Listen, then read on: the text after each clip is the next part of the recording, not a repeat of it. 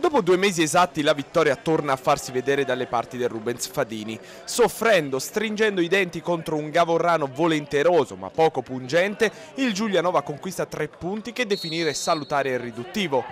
E dire che i grossetani in apertura con Fioretti vanno due volte vicini al blitz, ma se la prima volta manca la mira, la seconda è disinnescata da Sosi in area.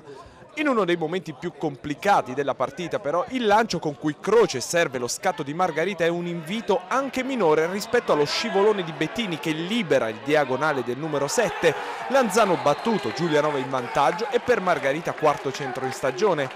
La reazione del Gavorrano porta le firme di Peluso, collo esterno destro e Fioretti, girata senza però trovare la porta di Merletti.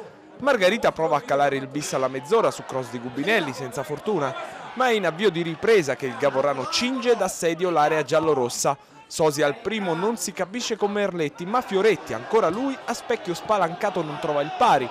Così come al minuto 49 il destro calibrato di Manzo, prima che Merletti ponga la firma in calce sulla gara odierna. Straordinario l'estremo giuliese quando al 55 cala due volte la sala cinesca in faccia a Peluso, prima sulla testata ravvicinata, poi sulla ribattuta da posizione invidiabile. Passata la sfuriata rosso-blu, Margarita prova col tacco a chiamare Pirelli al gol della sicurezza, stoppato prima che minuto 91 Bettini, lasciato tutto solo in area di rigore su uno degli ultimi assalti ospiti, giri centralmente il traversone coi giri giusti di sgambato. Boccata d'ossigeno al triplice fischio, il Giulianova rimane nei bassi fondi ma abbandona l'ultima scomoda piazza in graduatoria.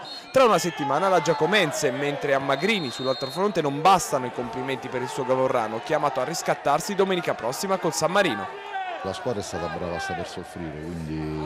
Una prestazione di carattere. Sì, ma è quello che ci serviva, a noi ci servivano i punti, abbiamo giocato molto meno bene, ripeto, delle altre gare, quindi una partita soffertissima e ripeto contro una squadra decisamente buona. Giochiamo un buon calcio, purtroppo eh, sbagliamo un pochino troppo sotto porta, però io dico, fino a che si creano c'è la speranza di poter raddrizzare qualche volta il tiro.